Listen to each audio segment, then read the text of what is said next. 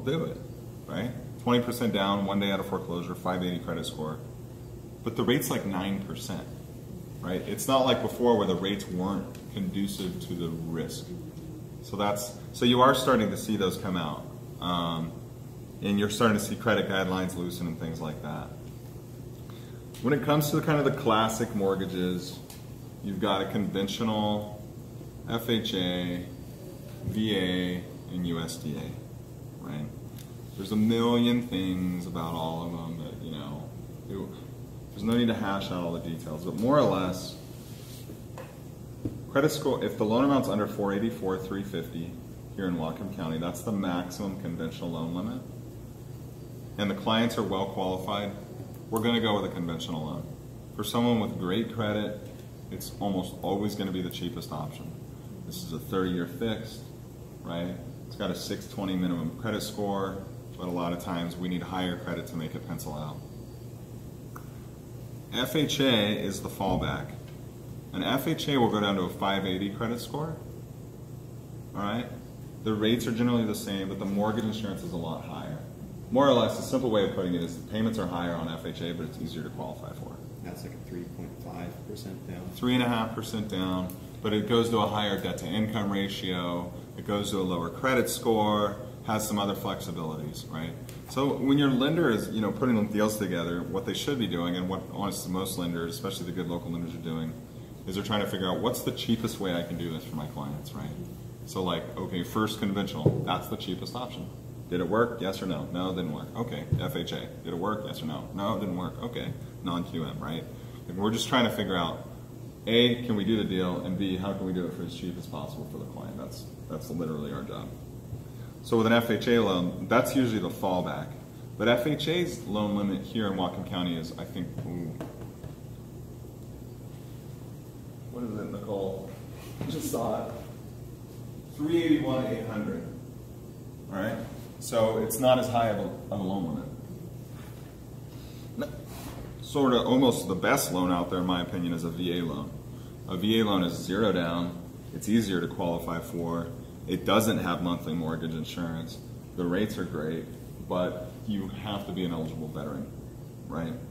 So I think, in my perspective, I'm always asking people, I think as realtors, it makes sense to ask someone if they're a veteran as well. And if they say yes, what's the first thing you say?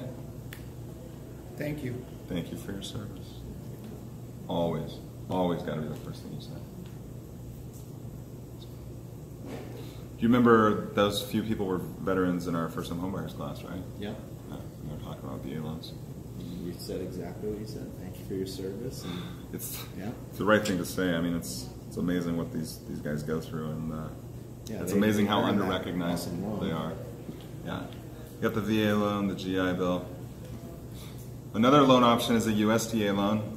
A USDA loan is a zero down loan. It's a great like hypothetical loan, but the box is super small on it. So first of all, it has area limitations. A lot of Whatcom County or Skagit County isn't even eligible, just the physical addresses. And then it has some pretty tight income limitations. And then on top of that, it has super tight debt to income ratio limitations. This is something we used to do all sorts of USDA loans, but when the Washington State Housing Finance Commission came out and created the down payment assistance loans, they kind of just knock those out, like, because they're they're just they're really they're hard to do, and a lot of them don't end up qualifying after a lot of work. So the USDA loan is a great product if someone can qualify. And then what a lot of our first-time home buyers are doing for zero down is the Washington State Housing Finance Commission. Have, has anyone had dealt with one of these, the down payment assistance loans? Yeah, Really? we should. We, I bet in this town there's probably 60 of them done a month. So, you know, we, we usually do 10 to 12 a quarter on our team. What the Washington State Housing Finance Commission loan is, is it's, it's a conventional or an FHA first mortgage. Uh, so it's a 3% down conventional or 3.5% down FHA. But the state will actually cover the down payment. All right? So the state puts a second mortgage behind it, more or less, to cover the down payment. And that second mortgage doesn't have any interest, it doesn't have any payment, and it's due when you refinance, sell, or in 30 years. Sounds great. I mean, why wouldn't anyone do it? Well, you know, TANSTAAFL, right? There ain't no such thing as a free lunch. Um, that money doesn't come from nowhere, that 4% that the state's putting down, those funds. So what they're doing is they're actually charging you a higher interest rate in order to cover that. Like, do you remember when I did use the example of at one rate I could close a loan at 100,000 and, clo- and sell it for 103,000? Mm-hmm. Okay, well if what they're doing is they're saying, well at a higher rate, we can close it for 100,000 and sell it for 110,000, right? And then we'll give you 4,000 of that back to help you with your down payment. That's how those Washington State Housing Finance Commission loans work. So they're actually a self-funded program. It's not a taxpayer-funded program. The loan funds itself. They charge a higher rate and cover the down payment that way. In order to do that, they have to go to the first-time homebuyers class, not the white glove workshop, but the actual like six-hour real deal. It's it's horrible. That that was the last first-time homebuyers class I did before I did one with you guys because I was like, I'm never doing this again. This is just it's a lot. It is a long process. They can also do it online though. There's a $75 class where they can do it online, but it still takes about six hours, and you literally cannot even lock that loan in until you've completed that class because you get a course certificate number when you're done. So that, that's a great option. I mean, I think the biggest thing is, you know, coming in and then sort of the fever pitch of the 90s and the 2000s and then back to where credit was really hard to qualify for. What we're seeing is we're seeing credit ease off. We're opening up, you know, 580 credit scores, FHA and VA, and we're doing a lot of them. We're opening up, you know, the manufactured homes, which seven years ago were basically impossible to finance. You know, condos are getting easier to finance. Everything's getting a little bit easier, but it's still balanced. The QM and the non-QM, the qualified mortgage, which the government's willing to take the risk on, it gives everyone the comfort to ease the credit guidelines, but also not do it in a way that's reckless. Or when they do, they know, hey, it's me on the risk, right? So they're charging a, a rate that's commensurate with that risk. So I think it's a good time to be in lending. I think it's a good time to be in real estate. I think we'll see more zero down loan options coming out. And I think honestly people need them, right? Like why would someone pay a higher rate in order to put zero down? Why not save the 3%? That's what I get all the time. And the answer is because well, I can't guarantee what the market's going to do long term, but I can tell you last year, the year before, the year before, and probably this year, you- the market will move up faster than you can save, right? Mm-hmm.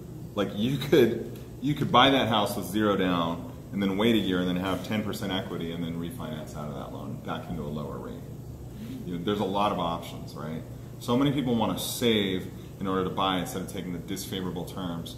But I can tell you, taking a half percent higher interest rate versus waiting until that house is forty thousand dollars more, it makes a lot of sense to take the higher interest rate now, and then if if it's possible later on, get that rate low. Like that's that's the thing about rates. If you take that rate five point, I think it's five point one two five right now for an FHA on that product today because I just pre-approved one. Whereas a normal FHA is more like four and a quarter, right? Here's the thing: if you buy that house at five point one two five, if the rates go down, you can refinance, and if the rates go up, you can brag to all your friends about how great your rate is. If you don't do anything, you are completely just keeping yourself as a victim of what the market does. Because there's a really good chance that the prices go up and the rates go up, right? At least lock into something. If nothing else, lock into a price and a rate today. That's I, I think that's so true, and we really have to impress that upon our people. So I, I really like that line. You know. All right. Questions, thoughts, That was a great line. I'm going to use that. I know. Save that one. Write down the number.